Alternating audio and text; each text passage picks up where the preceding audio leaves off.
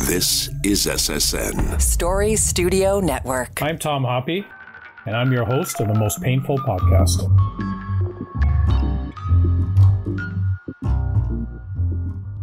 With so many veterans and family members suffering from chronic pain, how does sex and gender impact the research, assessment, and treatment of chronic pain? Today I'm joined by Dr. Stacey Ritz from McMaster's University to discuss this topic. Welcome to the show, Stacey. Thanks, Tom. Before we get into the conversation, I just want to let our guests know that we'll have an announcement for a gift at the end of the show, so please stay tuned. Okay, Stacey, can you explain to me how sex and gender can impact chronic pain? Well, I can try. It's certainly a, a very complicated nexus of uh, a lot of factors that are associated with sex and gender and the way that they can all play together and intersect with one another and influence one another to affect the experience of pain. I mean, I think as you you and your listeners probably are very well aware, one of the one of the interesting and complex things about pain is that it is a very subjective experience. It's very much colored by the individual's personal history with pain, by their own neurobiology, by the social context in which they exist. One of the most challenging issues in pain research is about how do we even measure pain when we know that the experience of pain itself shifts so substantially between individuals and in different times and different contexts. And so, because pain itself is so hard to stick a pin in, um, to, to to, so to speak, then trying to evaluate how something as complex as the factors associated with sex and gender can influence pain is itself a very complicated and interesting interplay of a lot of different things. Can I start by talking a little bit about what I mean by sex and gender? Yeah, I think that would be good because there's probably different definitions out there. So maybe a baseline would be that'd be perfect. Yeah. Oh, for sure. So this is an area I've been working in in my research for the last probably 15 or 20 years. That's become a, a, more and more prominent area of my work. And I first became interested in sex and gender and how they influence health when I was a student and thinking about how I could try and account for the impact of sex and gender in my research. One of the big shifts in the last 20, 25 years or so in the field has been about more carefully defining and more carefully thinking about what we mean by sex and gender per se. The sort of very simplest way of distinguishing between sex and gender is to say something like sex is biology and gender is social. For many years, and actually even continuing now in many different contexts, the words sex and gender are sometimes used interchangeably as if they mean the same thing. And in fact, sometimes I think sometimes people use the word gender instead of the word sex because it, it doesn't have the same connotations about sexuality. And so it sometimes feels more comfortable for people to use gender. But in, in a lot of fields, we have been distinguishing between these concepts using the word sex when we're trying to talk about things related to biology and using gender when we're trying to talk about things related to the social context. An interesting thing for me as an educator in this area and a researcher is that I would say in the last five to 10 years, given the increasing uh, recognition of trans people and gender non-binary people in society, uh, I would say there's been a shift to thinking about gender as just thinking about gender identity, about about one's own self sense of self as as male or female or uh, non-binary or some other uh, relationship to masculinity and femininity.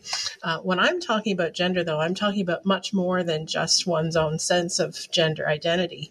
Um, we can also think about gender in terms of the gendered norms and expectations in a given society, in a, in a given culture, about what we expect of men and women, what we associate with masculinity and femininity, what's appropriate, what kinds of behaviors people engage in, the acceptability of certain kinds of emotions, for example. Then, of course, there's all kinds of other gendered structures in our society around gendered roles in the home, gendered roles in the family, gendered occupations, and gendered activities that don't necessarily fit into occupations or, or domestic activities, but the kinds of activities people engage in.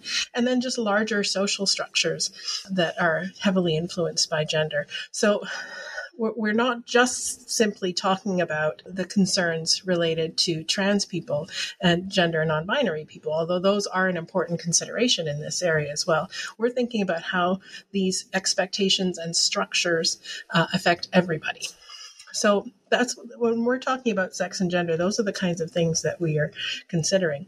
And everything from the genetic, molecular, cellular level, all the way up through our individual encounters and discussions with one another and with the healthcare system to our environments, our workplaces, our communities, all of these things can have an important influence on our risk for chronic pain, on our experience of chronic pain, on the kinds of ways that we'll be treated in the healthcare system for people with chronic pain, and the way we understand our own experiences of pain and manifest those in the world. So it's a, it's a hugely complex and I think fascinating nexus of stuff to think about. So this is the biopsychosocial model in a sense you're talking about. Totally. Yeah. Yeah. And then, and then the section sex and gender and identity is is a piece into that. And I know with uh yeah.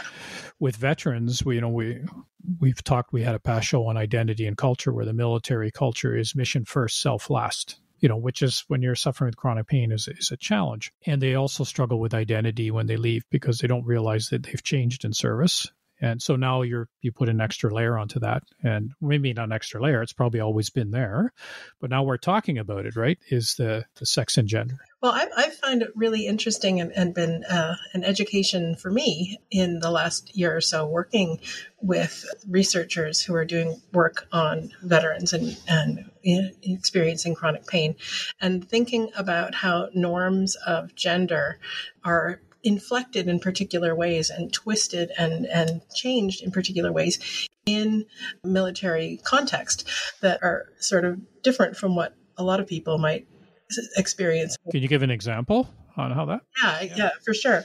So, for example, when we think about norms of masculinity and femininity and pain, you know, in, in a general context, norms of masculinity that most social structures reward and support are, are about toughness and stoicism and, and being able to handle a lot of pain. And those are traits and characteristics that we associate often with masculinity and reward people for fulfilling. And so that sense of needing to be tough uh, and needing to display a certain amount of toughness can lead people who are trying to fulfill those ideas of masculinity to downplay the amount of pain that they're experiencing or to try and push through and continue an activity in spite of it causing them pain, which can put them at risk for further injury. And a lot of the research that's been done on pain and gender thinks about it in, in that way. And that, that, that helps to explain in a lot of in a lot of contexts why men and people who are trying to fulfill those masculine ideals are often at higher risk for certain kinds of injury and that sort of thing. What what has been very interesting to me in working with researchers who are who are thinking about issues with veterans is that in some ways that can be almost flipped on its head in a military context where female military members where in, in a non-military context where there may be more latitude to uh, express pain and to step back from from those expectations in a military context th- they may experience a heightened level of, of demand to, prove their toughness, to prove that they belong in this environment, to prove that they can handle it. Uh, and so that, that what we normally see as a risk factor for, uh, for men can actually become a risk factor, a higher risk factor for women under under those circumstances where they where they're feeling this extra pressure to prove their toughness that they might not in, in other social contexts. Yeah, and that makes total sense. I mean, I think back to my time in the service, and you know, on our tour, we had uh, females, of course, in the combat arms. It was one of the very first uh, at that time. Yes, they do. I would suggest have a, a challenge or have to prove themselves. Uh, or feel that they have to do, I should say. Yeah.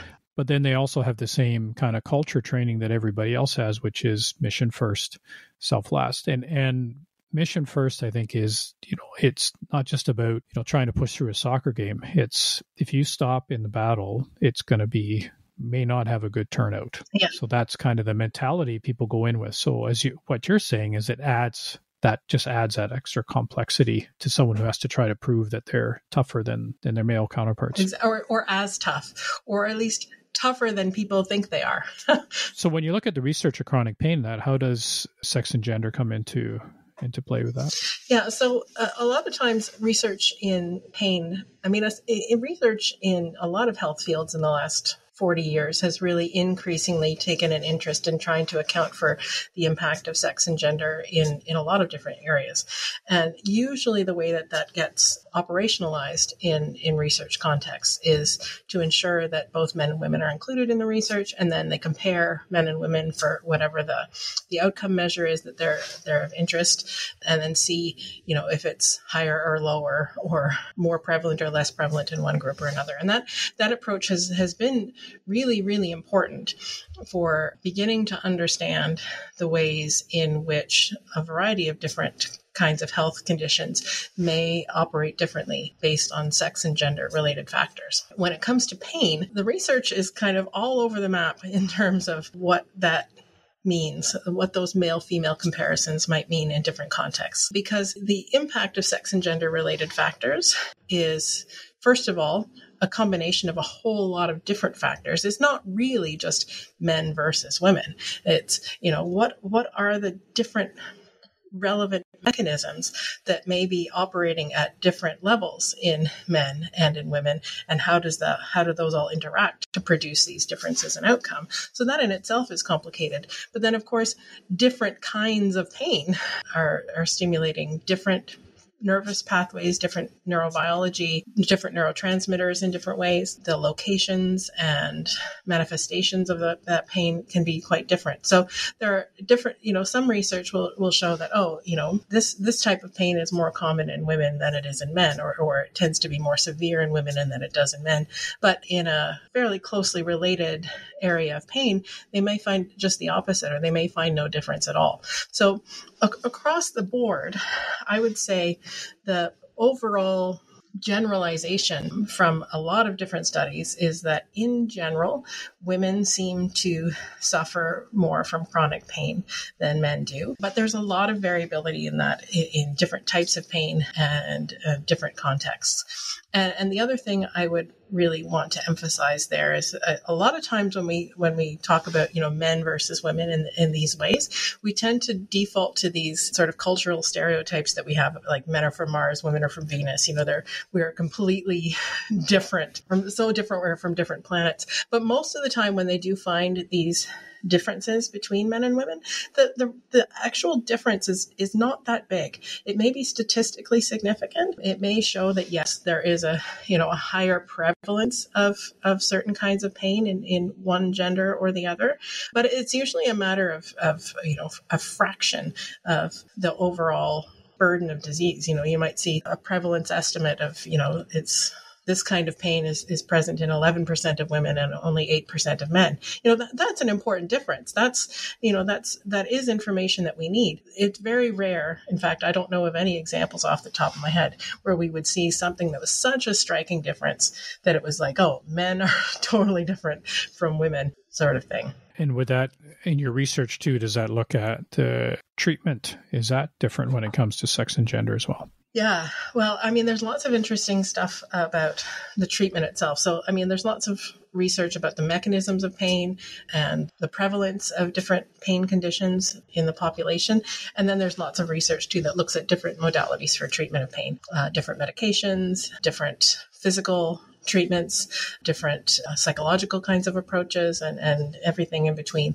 And similarly, where we do see differences between males and females, they, they tend to be relatively small compared to the overall distribution. And they're very variable across modalities and across contexts. One of the things that I think is quite noteworthy and interesting about the research in this area is not so, I mean, there's lots of interesting things about the treatments themselves.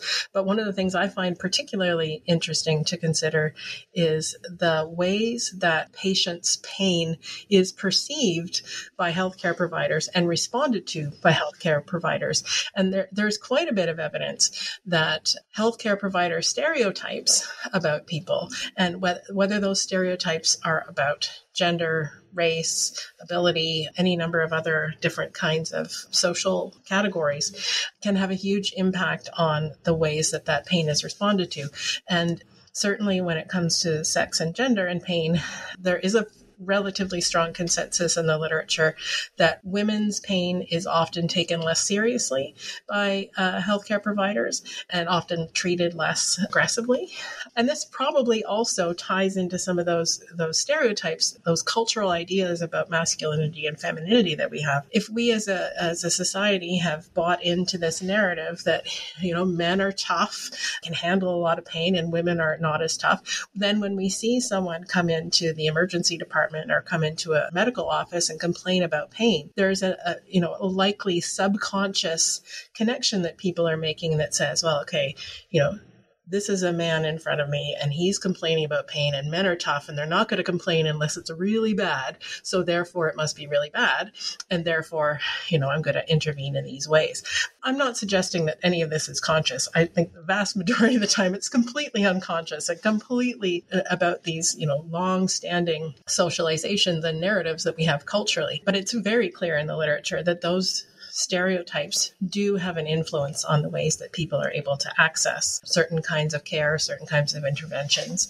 The other thing, too, is that those norms of, of masculinity and femininity can affect people's willingness to partake in certain kinds of modalities of care as well. So there's lots of literature suggesting that women are more likely to find modalities like counseling, psychological counseling, more acceptable than men are, likely having to do again with the ways that people are are stereo are, are socialized to to think about what is legitimate and what is an acceptable expression of these kinds of things for their gender. So, you know, in, in a lot of cultural contexts, you know, it's it's very encouraged and normalized for women to talk about their feelings and and to, to find places to do that. Whereas uh, a lot of cultural contexts discourage that among men or, or uh, and make it more difficult. So you you find that you know women are, tend to be more likely to accept certain kinds of modalities. Another example too that I've I've heard about in the context of people designing some research around veterans and veterans pain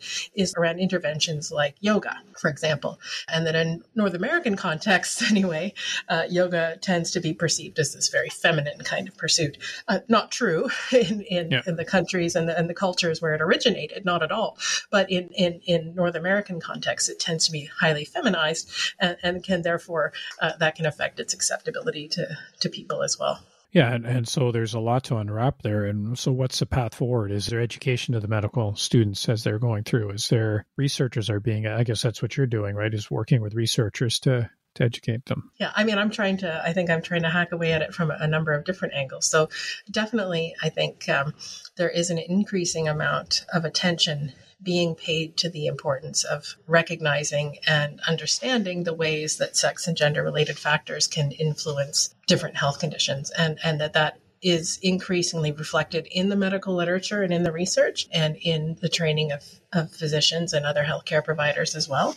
I mean, I myself here at the university teach a course on sex, gender, and health with that, with that exactly in mind, with the idea that if I get them early and they can take these ideas forward with them into their research or into their careers as healthcare providers, that they can use those lenses then to, to help provide better care, to do better research, to develop uh, appropriate policy. In terms of research, I want to say about 15 years ago now, not quite, uh, in Canada, the major research funder for health in Canada, the Canadian Institutes for Health Research, implemented a requirement for all researchers seeking funding to talk about how they were going to incorporate sex and gender related considerations in their work. So, people in Canada, researchers in Canada, have been required to do that for the last 13 14 years, I think. And that has really enhanced the the dialogue and, and, and the discourse around the importance of sex and gender as, as uh, influences on health. I think the re- the big leap that we need to make next in this regard is to address sex and gender through a lens of thinking about sex and gender related factors as opposed to thinking about sex and gender as male versus female. And, and I, I think that for a few reasons. Number one, again, I think the, the advocacy and the, the work done by trans communities and gender nonconforming communities in the last 10 or 15 years has amplified our, our recognition that, you know, male versus female doesn't include everybody and that we need to, to think carefully about that. But the, I think that's partly, that is partly, but not all, only why an approach thinking about sex and gender related factors is helpful. And I think it's helpful because even when we're not talking about people who exist outside the, these gender binary norms, the kinds of mechanisms that drive male female difference are usually not things that are exclusively found in males versus in females. Occasionally, um, it, it, can be fairly clear cut. You know, if it, we're talking about cervical cancer, for example, well, clearly yeah. you have to have a cervix in order for that to to be an issue. But and and we can we can you know we can stop talking about you know women and cervix, cervixes and we can just talk about people with a cervix and, and that problem is solved but for example a lot of the things that we know about in, that involve pain, that involve a lot of different health conditions, are things that are aren't that neatly cut and divided between men and women. An example of a mentor of mine had done some research looking at diesel engine mechanics in, in, Quebec. And most of the people who were working on these diesel engines were men, uh, but there were a few women. And of the of the three or four women in, in this shop, all of them had developed a particular shoulder injury that was causing them to to be away from work. That shoulder injury did occur sometimes in men, but like like a handful of the men out of a hundred had this injury, whereas all all of the women did. And initially, they speculated, uh, oh, you know, the women aren't strong enough to do this. They don't have enough upper body strength, or you know, other kinds of fairly stereotyped ideas about gender that would explain that. But when they actually went in and did some analysis, what they found is that what was happening there was about height it was the the the people who were having the shoulder injury. If if you were tall enough and you were exerting force with your tools, you could keep your shoulder down below the level of your, your natural shoulder and exert force. Whereas if you were shorter, you had to lift your arm up higher when you were exerting force. And it was the biomechanics of that movement up above your shoulder that were causing the injury. And so what they saw then is that these women tended to be shorter. and so they were more likely to get this injury. And the short men in the shop were also fairly likely to get this injury. And so, what I really, really like about this example is that it illustrates very clearly that if we were to have just assumed that it was men versus women and implemented some kind of an intervention that was like, oh, okay, you know, we're going to do this for women, we're going to do, we're, you know, we're going to take women out of the work, out of the workplace because this is, you know, too high risk for them or whatever it was going to be, we would have kind of missed the point. We we may not have protected all of the women there. You know, a tall. I'm five feet ten inches tall. If I was in that shop, I probably would have not been just fine. I wouldn't have needed an intervention. And if we had just applied that intervention to women without understanding the mechanism, there are probably lots of shorter men in that shop who did need some kind of support and wouldn't have gotten it. So by paying attention to the factor itself, height, we can actually apply an intervention that addresses the needs for everybody versus just taking the uh, the male versus the standard. Yep, yep. You're weak, we're strong. Exactly. There you go. You know, exactly. off you go. Right. So, I mean, there's a lot here to you know to unpack obviously in, in this and so you know we are at the end of the show and i do appreciate uh, your thoughts on this, but that last one is an excellent example, I think, of you know, it's it hits it's perfect. I mean, it does it makes it very clear is if we go in with assumptions and not look at the evidence base, then we are going to miss the mark somewhere. So I really do appreciate that uh, on your insights on on this and, uh, and on the show. So we're going to have to wrap it up there. Uh, today. Thanks for being on the show. Appreciate it. My pleasure. It was a good learning experience for me. And like I said, I do like that last uh, that last point, I think, kind of just summed that up nicely. So, for our listeners, uh, if you have any feedback about the show or information on chronic pain, you can visit our website at veteranschronicpain.ca or follow us on Facebook and Twitter at Chronic Pain COE, and then on Instagram at chronic pain underscore COE. So, as I said at the start of the show, we have an offer from Dr. Peter Attia, who is uh, well known for his podcast on health and wellness. And he also has a website with lots of evidence based information. And I've found it very helpful as a veteran over many years. So, what we're going to do is people who send in questions about this show, and we do have questions coming in from our listeners, that are going to take the 10 best questions. And you're going to get a free subscription to Peter's site, which will have access to all the health information that he's providing on there and on wellness and everything. So just email us or messenger us at uh, veteranschronicpain.ca or on Facebook and Twitter at Chronic Pain COE and Instagram at chronic pain underscore COE. So once again, Stacey, thanks very much for being on the show. It was great, uh, great learning experience and uh, great to have you. My pleasure, Tom. Thanks for the invitation. And to our listeners, uh, stay well. Thank you. The Most Painful Podcast is produced for the Chronic Pain Center of Excellence by Story Studio Network and Eye Contact Productions.